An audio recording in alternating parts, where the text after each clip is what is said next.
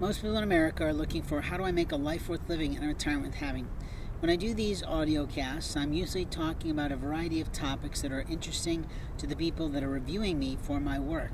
I give them the titles and then they pick and choose what other things they want to look at because it gives them a variety of content production. At the same time, it shows how simple things can be done or how complex it can be done based on what they look at back in the history of time. But there has been someone constantly hacking my videos and clipping my videos and editing my videos without my consent.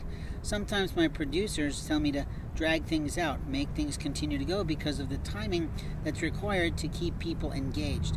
The Liars of America don't do that very well. I'll be honest, I sometimes get frustrated with that because something that's really well written and concise then gets almost ruined by ad libbing. The life of American photographer is different today. We don't have the same tools available to us in some cases, in other cases we do. The Liars of America can use their cell phone to make photographs and make video and do things really simply, but our problem with Apple is that everything is done vertically and people don't like to see that on YouTube. The Liars of America often cause people problems. I've been looking in my food bag and finding that almost all of my Pop Tarts are practically gone. I bought five or six boxes of Pop Tarts with four Pop Tarts each inside those boxes. So that would have been about 20 Pop Tarts. I gave away only about two or three.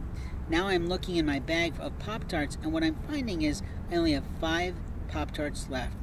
I'd like to know what person is thinking they have the right to take a hold of my property and steal it at night. The other day, I lost three cans of chicken in some way. I'm not sure how that happened because they were in my bag in which keeps food. I have eaten one of my cans of rotini, which is sort of a Chef Boyardee thing, which I like to eat and I don't mind cold. But the reality is, most of that stuff is already pre cooked, so it's reasonably safe. It's not always easy to deal with tomato sauces without having it, in other words, chilled or cooked. But it does allow for a, marvelous amount of um, energy for the day. And I apologize, carbohydrates is what I'm looking for in the word. But since I've been beaten down by a black child on campus which is why I left, I openly don't have the same recall memory is sort of truthful.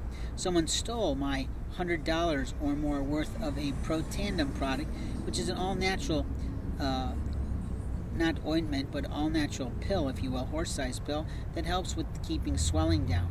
So, therefore, my brain doesn't have the same healing it could have had based on that product that I've taken for maybe five, six, seven, eight years. The liar also destroyed the Protandim one that I had for someone. I did give a bottle away because I had the right to do that as a thank you for something that someone did, to overcompensate based on its value for the smaller item that I was gifted. I have the right to do that because it was fully paid for. I also encouraged that person where to go in order to get more so they could keep themselves in a healthy balance with their level of anxiety and depression.